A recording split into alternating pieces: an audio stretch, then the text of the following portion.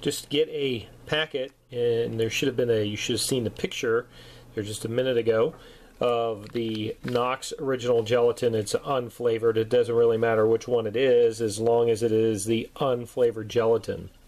So you need that. You're going to need a container of glycerin. And I got this one at Walmart. And you can find this in the pharmacy area and it was uh, by the antiseptic creams, I believe. But that's where I found it. It was the best place I found it. You can also order it online. So we also need to make sure that we have our tablespoon. And I need a container. Now I've used this container a couple times. This is just nothing more than a cream cheese container. And then for color, we're also I am using uh, the Neutrogena Healthy Skin Enhancer. So I'm just using this for some color for the skin. So we're going to take one packet of the gelatin. I'm just going to pour that in. I am then going to take a container that has water in it and I'm just using two tablespoons of this.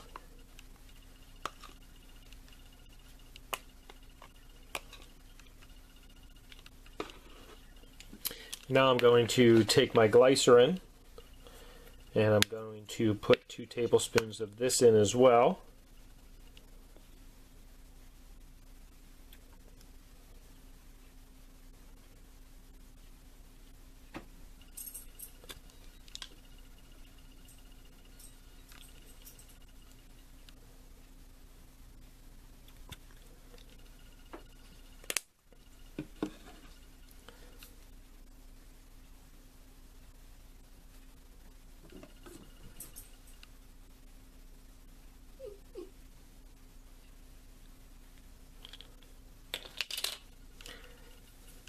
After we have that in, you can just stir it up. I'm just using a plastic spoon.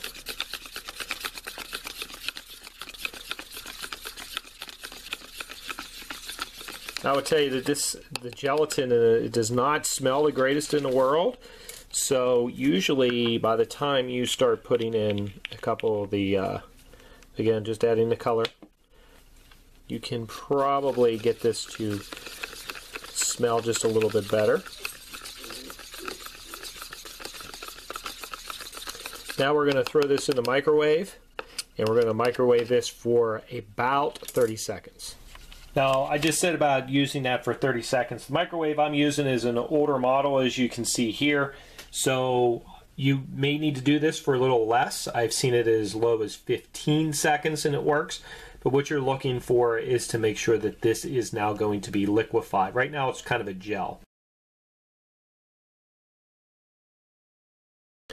After having the gelatin, water, glycerin, and some of the coloring, you can, after it's all melted and it has been microwaved, I just pour mine into a basically a baking pan and I just bought this at uh, a dollar store. It only cost me a buck, needless to say.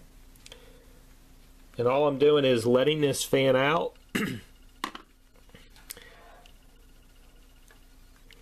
it will begin to harden. And to enhance that, one of the things that we're going to do, let me back this up. One of the things that we will do is put this in the refrigerator for about 30 minutes and it will definitely turn into a better gel. So this is what we look like after 30 minutes of being in a refrigerator. And we're just going to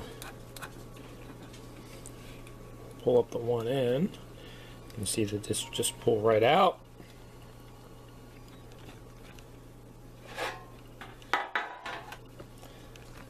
And now, basically, have our skin. You can see that obviously it's going to be a little bit different consistency as to the thickness but you can cut this as to what you need to do with it. This can go over top of a mannequin if you were doing something like needle cricothyrotomies, if you were trying to do something with an IV, you can start utilizing some of that stuff. Um, if you break this up and cut it into different sections, you can actually then remelt it.